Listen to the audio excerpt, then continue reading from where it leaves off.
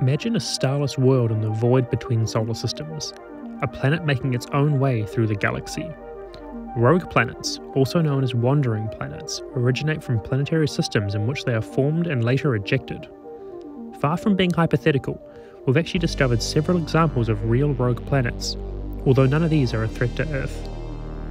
What would it be like on the surface of a rogue planet? The chances of an atmosphere are slim, but liquid oceans and hydrothermal vents could still provide the necessary conditions for life.